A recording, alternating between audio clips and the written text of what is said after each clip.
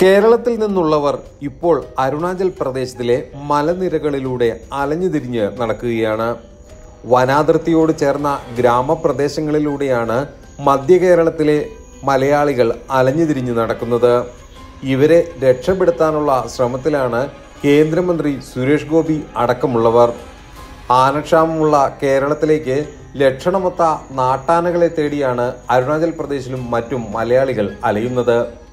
ആനകളെ സംസ്ഥാന അതിർത്തി കടത്താൻ കേന്ദ്ര സർക്കാർ ഇളവുകൾ പ്രഖ്യാപിച്ചതിന് പിന്നാലെയാണിത്. ഏജന്റുമാരും പരിചയക്കാരും മുഖേനയാണ് ഇവർ പുറപ്പെട്ടിരിക്കുന്നത്. വഞ്ചിക്കപ്പെടാൻ സാധ്യത ഏറെയുള്ള മേഖലയാണ്. ചില ആനകൾക്ക് ഉടമസ്ഥാവകാശ സർട്ടിഫിക്കറ്റ് ഇല്ലെങ്കിൽ മറ്റു ചിലത് മൈക്രോ ചിപ്പ് ഘടിപ്പിക്കാത്തവയാണ്.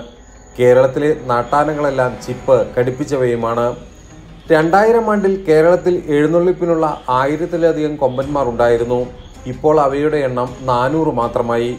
പ്രവാസി വ്യവസായി എറണാകുളം ശിവക്ഷേത്രത്തിൽ ആനയെ നടക്കിരുത്താൻ കൊച്ചിൻ ദേവസ്വം ബോർഡിന് അപേക്ഷ നൽകി രണ്ട് മാസം കഴിഞ്ഞു. ഇഷ്ടപ്പെട്ട ആനയ്ക്കായി അന്വേഷണത്തിലാണ്. ചില ക്ഷേത്രങ്ങൾ നേരിട്ടും അന്വേഷിക്കുന്നുണ്ട്.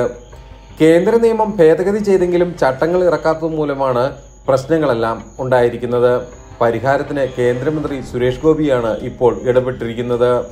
സുരേഷ് ഗോപിയുടെ ഇടപെടലോടെ മലയാളികളെ എത്രയും വേഗം അരുണാചൽ പ്രദേശിലെ മലമേഖലയിൽ നിന്നും തിരിച്ച് കേരളത്തിലേക്കും സ്വന്തം വീടുകളിലേക്കും എത്തിക്കാമെന്ന പ്രതീക്ഷയാണ് ആനപ്രേമികൾക്കും വീട്ടുകാർക്കുമുള്ളത്.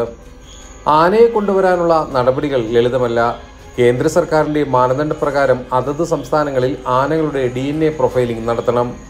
ഡി എൻ എ രക്തപരിശോധനകളുടെ ഡാറ്റ കേന്ദ്ര വനംവകുപ്പിന് അയക്കണം. കേന്ദ്രം അനുമതി നൽകിയാലേ കൈമാറ്റ നടപടി തുടങ്ങാനാകൂവെന്ന് chief wildlife warden D Jayaprasad പറഞ്ഞു. കേരളത്തിലെ നാട്ടാനകളുടെ എണ്ണം എഴുന്നൂറ്റി രണ്ടെണ്ണമാണ്. ആനകൾ കൂടുതലുള്ളത് തൃശ്ശൂരിലാണ്. ഇവിടെ നൂറ്റി അറുപത്തിരണ്ട് ആനകളാണ് ഉള്ളത്. കേരളത്തിലേക്ക് കൂടുതൽ ആനകൾ എത്തണം. എഴുന്നള്ളിപ്പിന് ആവശ്യത്തിന് ആനകളില്ല. മറ്റ് സംസ്ഥാനങ്ങളിൽ നിന്നുള്ള ആന കൈമാറ്റം സംസ്ഥാന വനം വകുപ്പ് തടസ്സപ്പെടുത്തുകയാണെന്ന് ആന ചികിത്സകനായ ഡോക്ടർ പി ബി ഗിരിദാസ് പറയുന്നു. എറണാകുളം ശിവക്ഷേത്രത്തിൽ നടക്കിരുത്താൻ അഞ്ചു മുതൽ പതിനഞ്ച് വയസ്സുള്ള ആനയ്ക്കായി അരുണാചലിലടക്കം അന്വേഷണത്തിലാണ് ഇവരും. ഇവിടുത്തെ ആനകളുടെ രേഖകൾ ഒറിജിനലാണോ എന്ന് അറിയാനാവുന്നില്ല എന്ന് പ്രവാസി വ്യവസായി പ്രതിനിധിയും പറഞ്ഞു.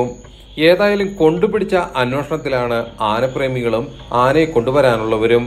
ക്ഷേത്രം ഭാരവാഹികളടക്കം നാളുകളായി ക്യാമ്പ് ചെയ്ത് അരുണാചലിലെ മലപ്രദേശത്ത് കനത്ത മഞ്ഞും തണുപ്പും അനുഭവിച്ച് കഴിയുകയാണ്.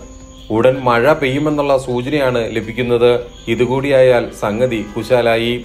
ഏതായാലും ഉടനെ കൂടുതൽ ആനകളുമായി ഇവർ കേരളത്തിലേക്ക് തിരിച്ചെത്തുമെന്ന് ആനപ്രേമികൾക്കൊപ്പം നമുക്കും പ്രതീക്ഷിക്കാം.